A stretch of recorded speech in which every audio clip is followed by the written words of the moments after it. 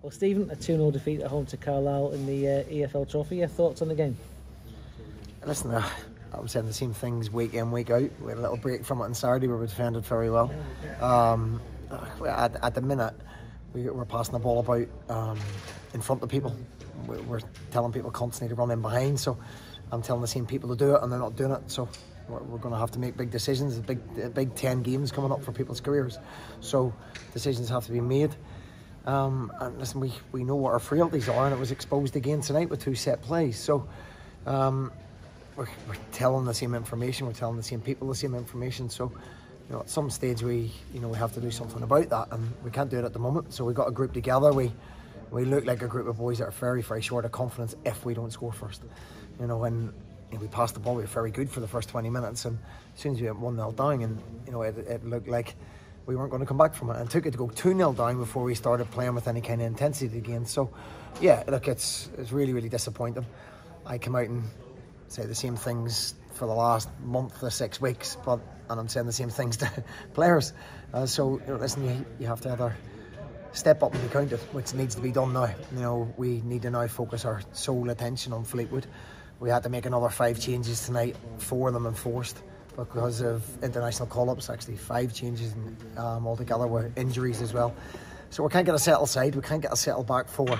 Um, we can't get a settled goalkeeper on back four at the moment. So it's, it's difficult. You know, it's difficult when you're playing again uh, beside different people every week due to injuries or loss of form. So first and foremost is to try and get something settled. Um, that's difficult when people are finding it hard to get a run of form consecutive games.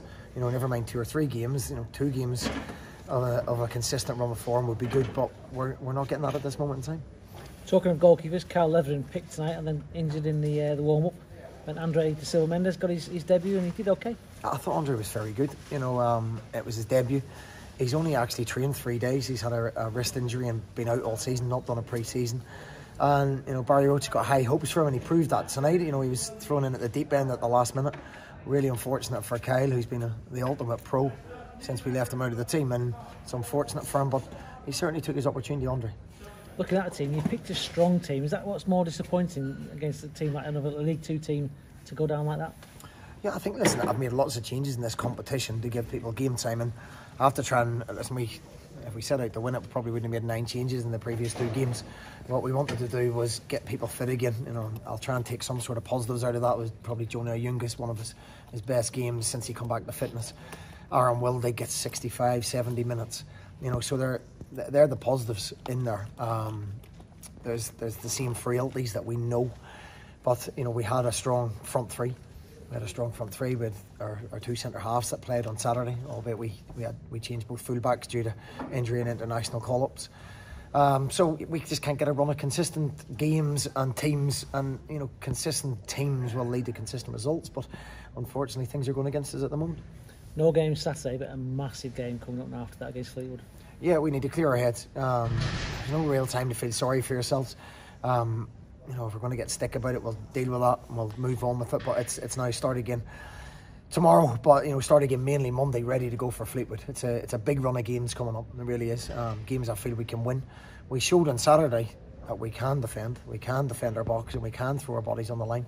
We can press properly. And as I say, it's just getting that belief and consistency to do that. And it's it's big, big games coming up in the next month.